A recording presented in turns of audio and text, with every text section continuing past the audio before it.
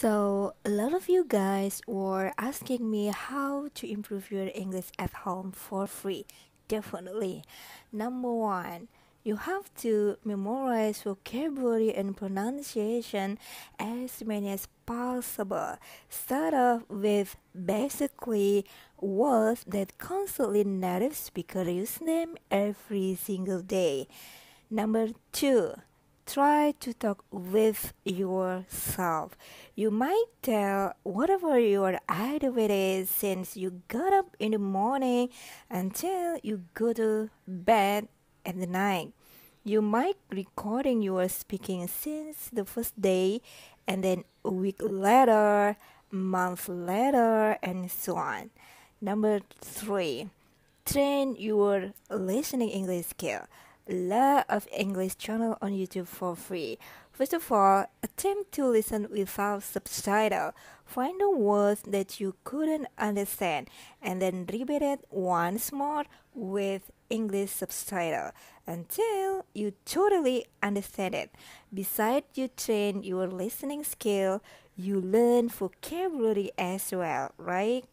Number 4. Train your speaking English skill.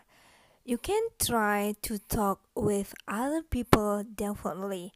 Actually, there are so many English applications for train your speaking skill.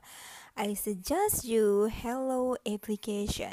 In Hallo, you can talk with people entire world randomly. You can join a class that native speaker teacher. You can create a room class as well.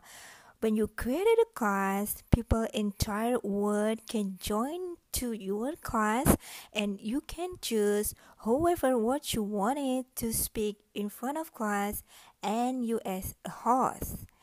I think it's really amazing application to improve your English skill. You have to try it. Number 5. Learn about phrasal verb idiom and slang words that usually native speakers use them every single day. You might learn on YouTube, definitely, or you might learn from book whatever you wanted. Number six, be patient with yourself. Learn English is not that easy. It's gonna take a couple months for fluent at it. You have to endeavor to improve your English skill just a little bit be patient